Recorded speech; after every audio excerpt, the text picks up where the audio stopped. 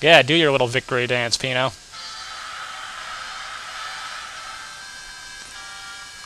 Ooh, 5,000 Corlo. That recoups the cost of the uh, other thing. The golf club. We sure showed those Gijin.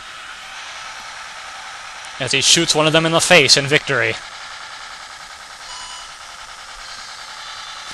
You know, this seems to kind of be doing anti what we wanted to do originally in getting the human Gijin relations back together. Congratulations, Pino! The trophy's arrived. I had it placed on the bookshelf on the second floor. Blah, blah, blah.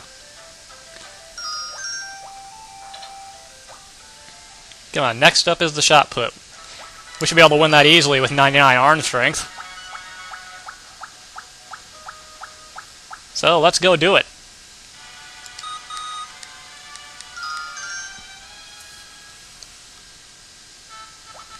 And here we go. Man, the ref looks so bored. Yes, we're going to give it a shot, and you're going to express surprise again. And Pino screams in your face. Oh, look, he didn't express surprise. This is easy. Throw it. Lol.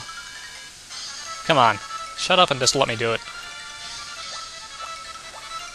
It's not a proper shot put bull.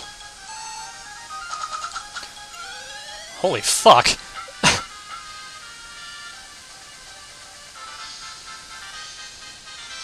He just threw that ball 400 yards, and no one's going to question that. A mere human just threw that ball that far, I guess. Yes, we did it. Another 5,000. All right. And he shoots the guy in the face again. He does that after every event. Hey, by the time we're done here, we're going to be back to 30,000 where we started. Come on. Yay, more congratulations. We can look at the trophies later. Open Sesame. What's up next? I think the hole-in-one contest is next. And that's the one that tends to be the most random in terms of can you win or not.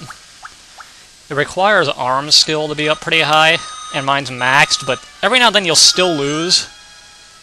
So, I don't know what's going to happen here. Level 1 contest will now begin. All participants line up. Yes, we're going to give it a shot. Blah, blah, blah. Alright, that's the spirit. I will now explain the hole-in-one contest. Actually, you know what? I'm going to pause it here and end part 4, because I think I'm getting close to the time limit. Coming back for part 5, and we'll see if we can get the rest of this chapter into it.